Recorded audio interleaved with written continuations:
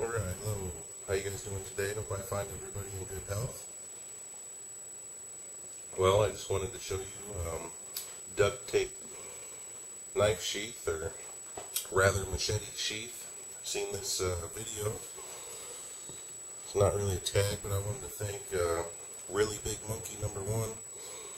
I seen that video there, really neat video showing how to uh, make this sheath.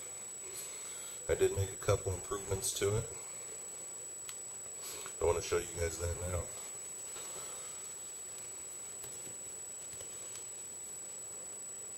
My belt loop.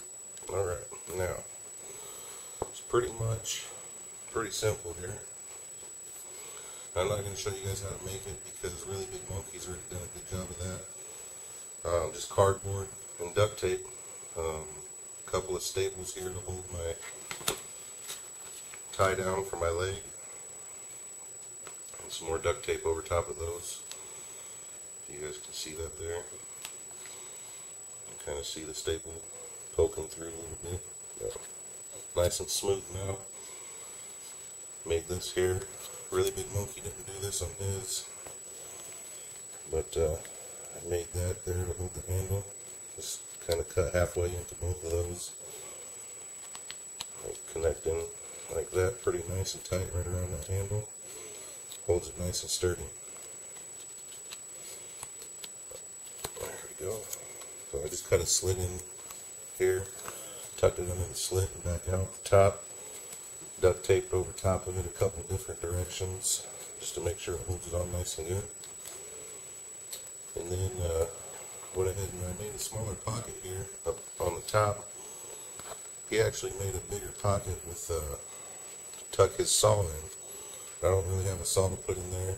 I do have this knife, a little bit smaller, fine detail work knife, I guess. A little compass on the top there. Nice uh, wood handle. Um, I'm not gonna say what kind of wood. I don't. I'm gonna say the name wrong, and you guys are gonna give me shit for it. But uh, very popular, nice hardwood handle. Uh, I'll let you guys know later in the comments or description. Maybe I'll look it up for you. But yeah, got that knife there. Has a sheath for it, but I don't like it. This clasp here is real sloppy. The knife moves around a lot. It's real flimsy fabric here. I mean, not going to do much for protection if I fall or something. I don't want to get stabbed in my leg with that sharp knife. So, again, just cardboard and duct tape. I took a pizza box from the freezer. Had a frozen pizza. Cut that up nice strip, taped the strip together, long enough.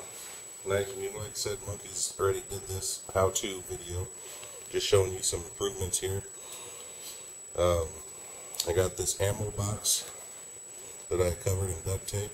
Let me show you, I think I got one laying around. We went out to the range the other day and uh, sighted in my ACOG sight for the AK. So I had a couple empty ammo boxes. I just took this apart, lined the inside with four, uh, excuse me, duct tape, not foil, and uh, kind of waterproof the inside, outside. That's about all I did to the sheath, covered enough to kind of waterproof it. I had a couple spots here, you can see that still need a little more duct tape up front, maybe around the side. Put a couple extra strips for if I need to take it off and use it for whatever reason. So this is what I use the box for right now. Show you here. Got a little bit of uh, cotton cloth. Make some char cloth with that if I want to. Get that tied up tight there. Then I got uh, probably about 18 to, excuse me, 20 feet of uh, just some simple craft rope I found in my wife's drawer sharpening stone. Keep a nice edge on there, real smooth sides. A little bit rougher edges if I want it. And then I've got a cell phone battery for emergency fire starter. Um, pretty sure it's got some power left. If I get some uh, steel wool or something, I could probably get that sparked. But uh, you can also, well, there's a couple other ways that you can make fire with this that you probably shouldn't unless it's an absolute emergency.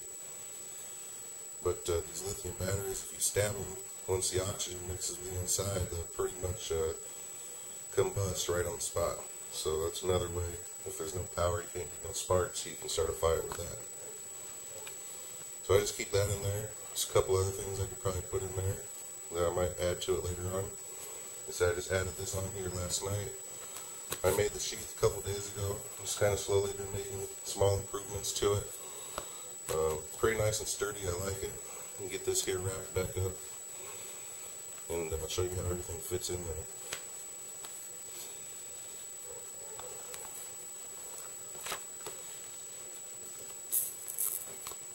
Move my list out the way. It tucks nice and sturdy right in there. It's kind of hard to open, so I put that flap on there actually uh, earlier this morning. So that helps out a lot. Get that open, close it up. Of that ammo box. Okay. So, yeah, the main thing here, get the machete. I'll show the machete that I made it for. Had this machete for a while. It's a nice Brazilian Tramontina.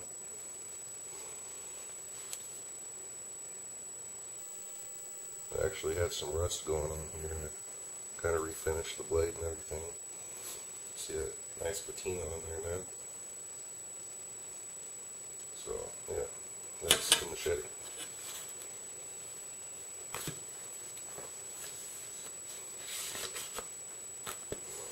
That slides right in there. I don't know if you guys seen that or not. There we go. Get a little bit different angle here, maybe.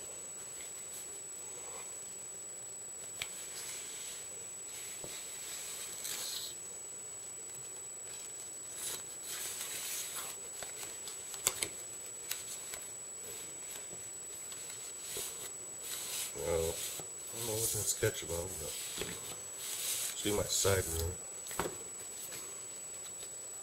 As you'll see, the side rails, if you watch Really Big Monkey's video, these here, like I said, fit nice and snug. You can pull them tight.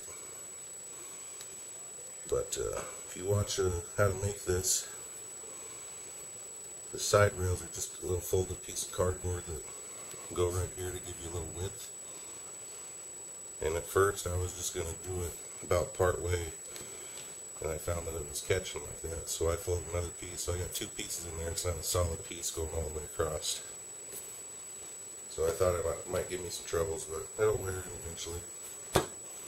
So there's the duct tape knife sheath. Or, excuse me, machete sheath that holds the knife up front. And I could tuck anything else in there I wanted to, but uh, for now, I kind of like that. Sure I'll find a better use for it. But I don't need both of these if I don't need to. But this really isn't too heavy. It's maybe, uh, I bet it's at least a pound. So, again, very solid. Uh, blade goes all the way through. Handle reel it on. I haven't really used it yet. Just got this from a buddy. I sold it to him pretty cheap for 10 bucks, so couldn't pass it up.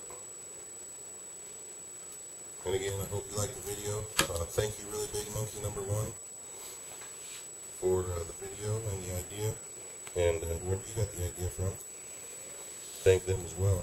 But, um, yeah, not necessarily a tag, but if you want to take it that way, Really Big Monkey, if you want to make any improvements and show us, it'd be cool. Um, always like your ideas. You got great videos. If you guys don't know Really Big Monkey, he's a very cool guy, great sense of humor, um, kind of a backwoods bushcraft, um, do-it-yourselfer guy, DIYer. So um, again, thanks Really Big Monkey, and um, I'll check you guys later. I hope you like my first video. Comment, like, subscribe, and uh, let your friends know if you do. I'll have some more videos coming up here, trails, uh, some camping, and uh, some fire starting here that I'm going to actually start practicing. Never really done that yet, so it'll be a fun experience. Maybe we can all learn together. All right, see you guys later. Bye bye.